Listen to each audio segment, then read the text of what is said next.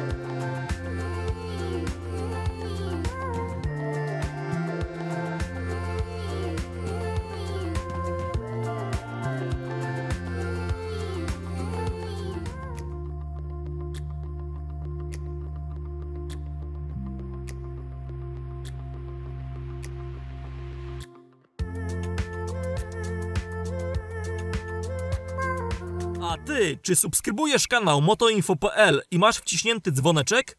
Jak nie, to wciśnij ten czerwony guzik i strzel lajka pod filmem.